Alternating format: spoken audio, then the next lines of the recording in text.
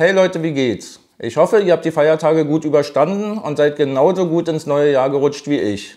Euch allen wünsche ich ein super tolles neues Jahr 2021. Was die neuen Drohnengesetze betrifft, das habe ich ja schon im letzten Video erklärt. In diesem Video zeige ich euch kurz und knapp, wie wir Drohnenpiloten uns registrieren können und wie einfach es ist, den neuen EU-Kompetenznachweis A1-A3 zu machen. Los geht's! Dazu gehen wir zuerst auf die Seite des Luftfahrtbundesamts, also auf lba.de. Hier tippen wir jetzt auf Betrieb und auf unbemannte Luftfahrtsysteme. Hier haben wir jetzt die Möglichkeit, uns zu registrieren oder den Kompetenznachweis zu machen. Ich will mich erstmal registrieren und tippe dazu auf UAS Betreiberregistrierung. Registrierung UAS Betreiber. Hier haben wir zur Registrierung sechs Punkte.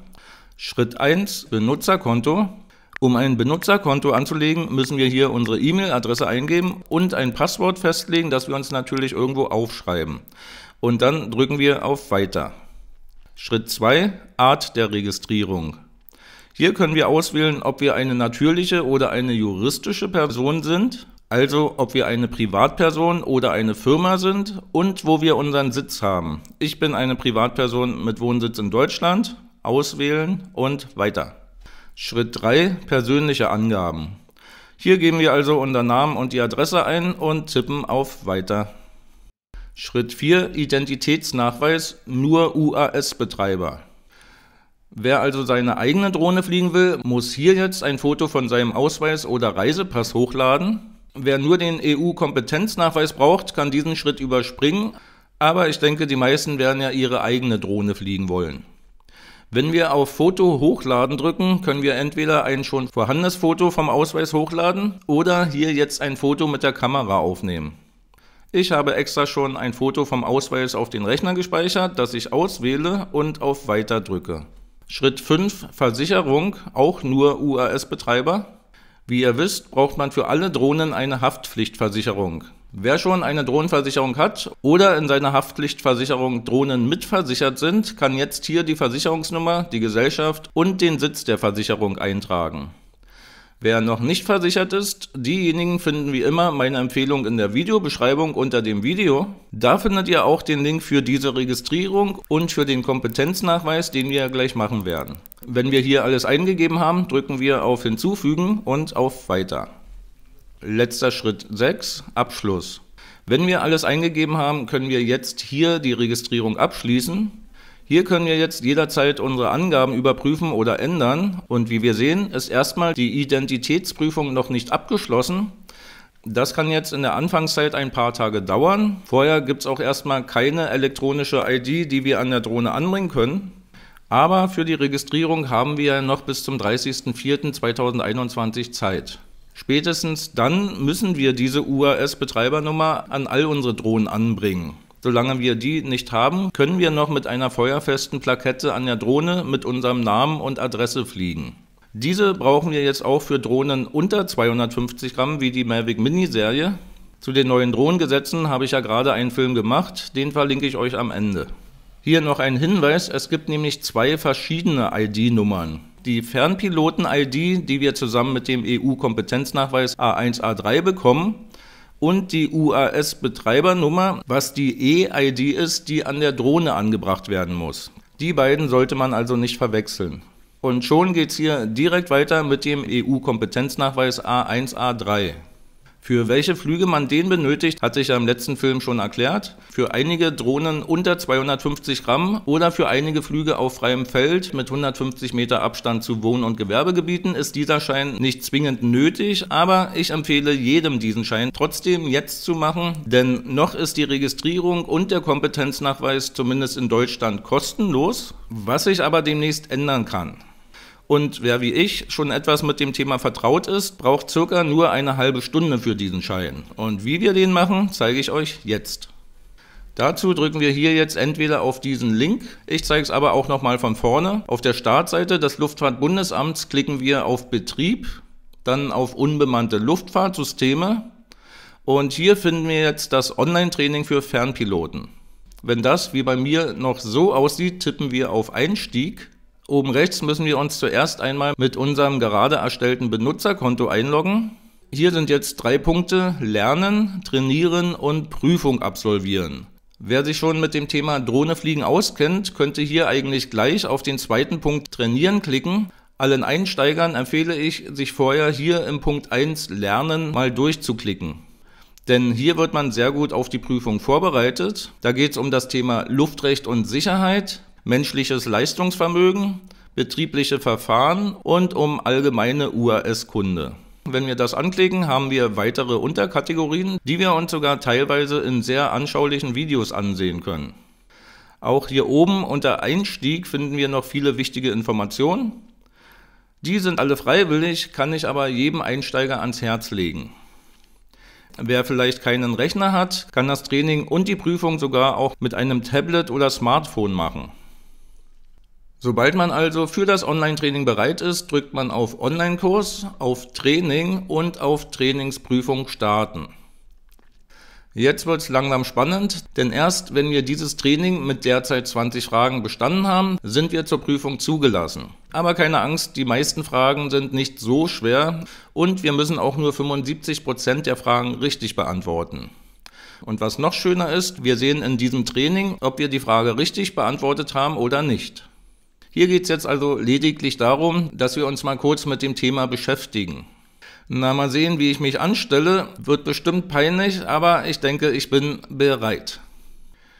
Herzlich willkommen bei der Trainingsprüfung. Diese Prüfung enthält 20 Multiple-Choice-Aufgaben aus allen Bereichen, die beliebig häufig aufgerufen werden können. Sehr gut, denn man muss also meistens nur, wie bei Wer wird Millionär, die richtige Antwort auswählen. Prüfung starten. Oben rechts startet der Countdown von derzeit 30 Minuten. Links sehen wir, dass wir 20 Fragen beantworten müssen und oben können wir jederzeit zu einer falsch beantworteten Frage zurückkehren und wenn wir fertig sind, abgeben. Wir haben also pro Frage anderthalb Minuten Zeit ich ziehe das jetzt mal im Zeitraffer mit euch durch. Wer also nicht sehen will, wie doof ich mich anstelle, kann gerne etwas vorspulen. Es gibt in diesem Training natürlich viel mehr Fragen. Wenn ihr also dieses Training oder die Prüfung ablegt, werdet ihr also zum großen Teil andere Fragen bekommen. Also, los geht's. Erste Frage. Welche Aussage beschreibt den Begriff Situational Awareness am besten? Situational Awareness am besten. Persönliche Bedingungen wie Müdigkeit oder Stress beeinflussen den UAS-Flug nicht. Das wird es wohl eher nicht sein. Die Informationen vom letzten UAS-Flug werden genutzt, um sich einen Überblick über die aktuellen Bedingungen zu verschaffen. Einschätzen der Situation anhand des Bauchgefühls für die Durchführung eines UAS-Fluges. oder sich einen Überblick der Gesamtsituation verschaffen und sich dessen bewusst machen, was wahrscheinlich als nächstes passiert. Okay, hier braucht man eigentlich gar nicht die Frage lesen, sondern wenn man sich die Antworten anguckt, dann kommt man schon selbst drauf. Also, hier nehme ich mal D. Dann klicke ich mal die zweite Frage an. Welche Bedingungen können die VLOS-Bedingungen negativ beeinflussen? Ein sich näherndes Gewitter klingt gut. Ein großes UAS, ein kleines UAS oder hohe Wolkenuntergrenzen. Okay, jetzt müsste ich nur wissen, was VLOS sind. Hm, keine Ahnung. Dann gucke ich mal, was passiert, wenn ich einfach mal das erste anklicke. Ui, falsch.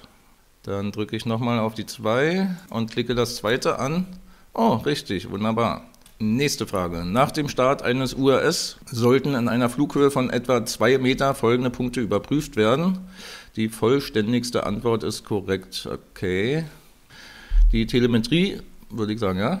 Verschmutzung am UAS die Nutzlast, da mache ich mir vorher einen Kopf und der Controller, ja, also die Telemetrie auf jeden Fall. Verschmutzung am UAS äh, würde ich vorher schon gucken. Die Nutzlast weiß ich auch erst nicht in zwei Metern Höhe und den Controller, äh, was nehme ich da? Ich probiere mal 1 und 4. Ups, falsch. Nochmal zurück. Na toll, von drei Fragen schon zwei falsch. Dann nehme ich mal noch die Nutzlast mit rein. Okay. Na bitte. So, nächste Frage. Wer ist für die sichere Flugdurchführung verantwortlich? Die sichere Flugdurchführung, na ich, oder? Flugsicherung? Nö. Fernpilotin? Richtig. Manchmal braucht man sich die weiteren Fragen gar nicht durchlesen. Unter Luftrisiko ist zu verstehen, wenn ein UAS auf dem Boden befindliche Person stürzt, ein UAS knapp über dem Boden fliegt, ein UAS mit anderen Luftraumnutzern kollidiert oder ein UAS mit Hindernissen kollidiert. Hm. Dazu frage ich mal mein Handy, was überhaupt Luftrisiko bedeutet. Aha, dann kann es nur das hier sein. Richtig, das war einfach. Welche Aussage über das Verhältnis zwischen der Wellenlänge und der Frequenz einer elektromagnetischen Welle ist korrekt? Oh Gott. Die Frequenz ist umgekehrt proportional zur Wellenlänge. Je höher die Frequenz, desto größer die Wellenlänge. Je größer die Wellenlänge, desto instabiler ist die Frequenz. Die Frequenz ist direkt proportional zur Wellenlänge. Ich glaube, das hatte ich mal in der Schule, aber da tippe ich mich jetzt durch. Okay, das war es nicht. Nochmal nicht. Ah, Volltreffer. Die Frequenz ist also umgekehrt proportional zur Wellenlänge. Wieder was ihr lernt. So, hoffentlich kommt jetzt mal was leichteres. Welche Antwortoption bezeichnet ausschließlich Flugmodi eines UAS? Okay, manuell und stabilisiert, das kann sein. Autonom und Pitch. Pitch ist ja kein Flugmodi. ATI und Roll, auch kein Flugmodus automatisch und Wi-Fi auch kein Flugmodus. Also A. Yep. Das System zur Ausfallsicherheit, Failsafe, beinhaltet ein oder mehrere Sicherheitsmanöver. Wer kann diese Manöver unter anderem einleiten? Na, Ecke. Passanten? Nee. Hersteller? Nee. Fernpiloten? Ja. Fluglotsen? Nö. Also Nummer 3. Sehr schön. Welche Aussage über das Geofan-System ist richtig? Da habe ich gerade mal drüber gelesen. Ein URS kann ohne Probleme innerhalb des Geofans gestartet werden. Die Koordinaten des Geofans können nur vom Hersteller festgelegt werden, auch nicht. Der Geofans ist eine virtuelle Grenze, die durch Koordinaten festgelegt wird. Oder wenn das URS den Geofans überfliegt, wird die Landung automatisch an der aktuellen Position eingeleitet. Das wäre zu gefährlich, also wieder die Nummer 3. Yep. Was sind personenbezogene Daten? Daten, die sich auf ein Unternehmen oder eine öffentliche Einrichtung beziehen? Nee. Eine Landschaftsaufnahme, auf der niemand zu sehen ist? Bilder von einem Privathaus? Schon eher. Daten, die sich auf eine identifizierbare natürliche Person beziehen? Also D. Welche Bereiche eines Luftraums können den UAS-Flug rechtlich einschränken? Wälder und Gebirge? Nee. Kontrollzonen und Naturschutzgebiete? Ja, brauche ich eigentlich gar nicht weiterlesen. Richtig. Was ist Ihre Pflicht als Fernpilotin? Die Komfortzone zu verlassen und Neues zu wagen? Yay! Risiken zu erkennen und diese so weit wie möglich zu minimieren? Klingt schon mal logisch. Grenzen auszutesten und kontrolliert zu überschreiten? Risiken bewusst einzugehen und diese versuchen zu bewältigen. Also einiges andere würde vielleicht auf mich zutreffen, aber ich entscheide mich zu Nummer 2. B. Wer ist dafür verantwortlich, das Betriebsumfeld zu beachten, auf Hindernisse zu überprüfen und festzustellen, ob unbeteiligte Personen anwesend sind? Die Luftfahrtbehörde, der Hersteller, der Fernpilot oder der UAS-Betreiber. In dem Fall nicht der, dem die Drohne gehört, sondern der, der sie fliegt, also der Fernpilot. Wunderbar. Wie nah darf ein UAS der Klasse C4 an unbeteiligte Personen heranfliegen? Das habe ich gerade gemacht, den Film dazu. Na, mal gucken. Außer mir darf sich niemand in einem Umkreis von 500 Meter aufhalten. Das erscheint mir ein bisschen sehr weit. Es muss ein Sicherheitsabstand von mindestens 30 Meter eingehalten werden. Es darf über einzelne unbeteiligte Personen betrieben werden. Nein. Also muss es eigentlich D sein. Der Betrieb darf keine unbeteiligten Personen gefährden. Ein entsprechend großer Sicherheitsabstand ist einzuhalten. Das klingt für mich am plausibelsten, also D. Richtig. Eine Menschenansammlung kann als eine Vielzahl von Menschen aufgefasst werden, die aus mindestens 25 Personen besteht, wobei sich jede Person problemlos in alle Richtungen aus dieser Menge entfernen kann so dicht gedrängt stehen, dass es einer einzelnen Person nahezu unmöglich ist, sich aus dieser Menge zu entfernen. Ja, klingt gut.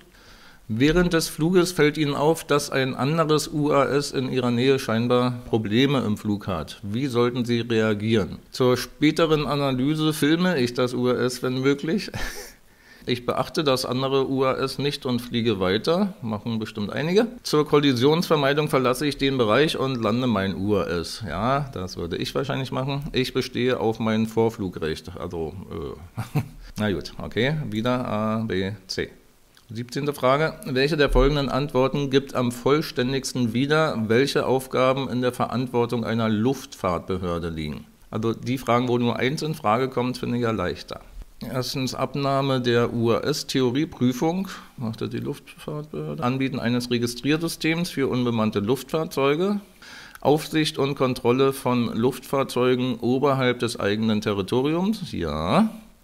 Bereitstellen eines Online-Kurses zur Erlangung einer Fernpilotenlizenz, also die drei auf jeden Fall, also fällt B schon mal aus. Ich habe keine Geduld, also klicke ich jetzt alles an. Nummer 1 schon mal falsch, B schließe ich aus, C falsch, also D. Der Begriff Security bedeutet Schutz vor Rechtsvorschriften außereuropäischer Staaten, vorsätzlichen Beeinträchtigungen, zufälligen ungewollten Beeinträchtigungen oder durch technische Defekte entstandene Kosten. Keine Ahnung. C vielleicht? Nee. Na dann vorsätzliche Beeinträchtigung. Ah ja.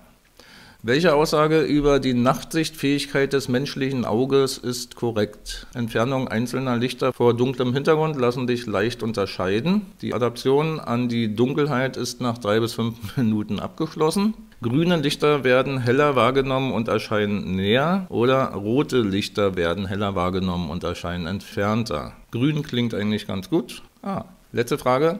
Eine nicht normale Situation, abnormal situation, liegt vor, wenn die Steuerbarkeit eines URS durch unvorhersehbare Gründe beeinträchtigt wird, die Situation im AMC als solche ausgewiesen ist, AMC, ein Unfall mit dem URS aufgrund von Kontrollverlust unausweichlich ist, oder unbeteiligte Personen durch einen unmittelbar drohenden Unfall gefährdet sind. A wie unvorhersehbare Gründe. Klingt gut? Okay, so. Ähm, alles richtig? wie viele Fehler hatte ich denn? Ich glaube, ich hatte fünf Fehler. Damit hätte ich es eigentlich äh, gerade so geschafft. So, dann klicke ich mal auf Abgeben. Training beenden. Möchten Sie das Training wirklich abgeben? Verbleibende Zeit circa 13 Minuten 50. Jetzt bin ich gespannt. Äh, ja. Sie haben sich erfolgreich qualifiziert. Yay! Na gut, okay. Registrieren Sie sich jetzt zur Prüfung für den Nachweis für Fernpiloten. Dann drücke ich also auf Registrieren und melde mich an. Prüfung ablegen. Herzlichen Glückwunsch, Sie haben das Online-Training erfolgreich absolviert. Klicken Sie hier, um die theoretische Prüfung für den EU-Kompetenznachweis A1, A3 abzulegen. Ich bin bereit, also Prüfung starten. Wie wir sehen, haben wir jetzt 40 Fragen und dafür 45 Minuten Zeit.